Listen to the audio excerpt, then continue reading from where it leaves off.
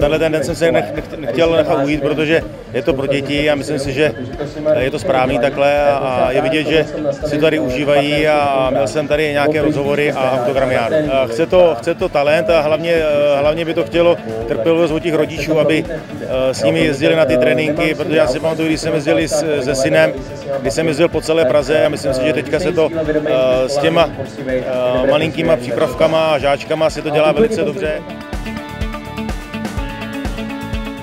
Probíhá tady akce Pražského fotbalového svazu, je to super. Tak mají tady pět atrakcí, když je splnějí, dostanou i něco drobného, nějaké odměny. Děti si tady můžou odníst z autogramiády, eh, podpis od Antonína Panenky, Horsta Sígla eh, a má, měli jsme tady hráče 21.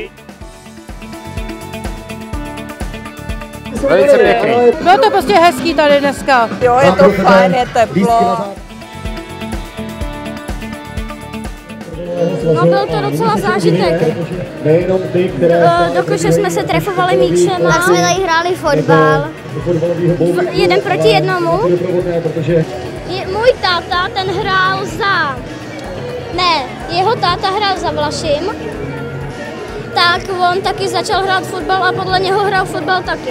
Jo, hraju, já jsem, já chodím na tréninky. Do Žepory. No, chytám. Fotbal mě baví. Go!